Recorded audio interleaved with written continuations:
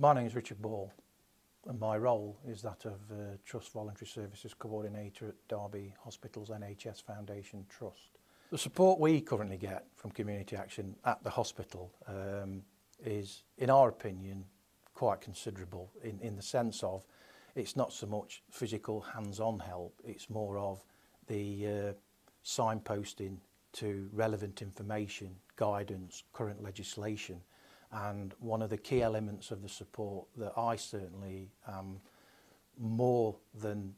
excited about is, is that of the volunteer, volunteer coordinators forums that are run, at which is the, uh, the opportunity to see colleagues who are in similar roles to ourselves, albeit from smaller organisations and, and some larger, but not many. There's not many as large as the hospital, I know.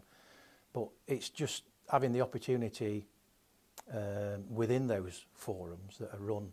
uh, by community action that you see all your problems although be on a different scale and no different to to our colleagues who are coordinators in whether that be a charitable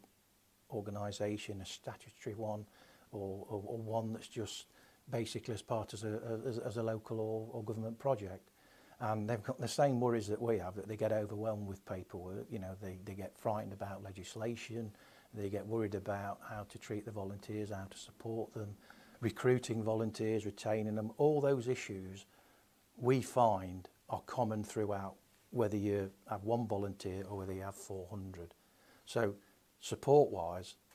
if if community action does anything really well i think the coordinators forums are the key the key part of that support